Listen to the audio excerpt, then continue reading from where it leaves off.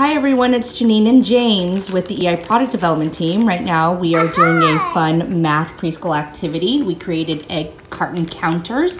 I labeled each space with number and also drew dots for each corresponding numbers. And now James is counting each pasta to match the space. This is perfect for counting and also building one-on-one number correspondence. Happy counting.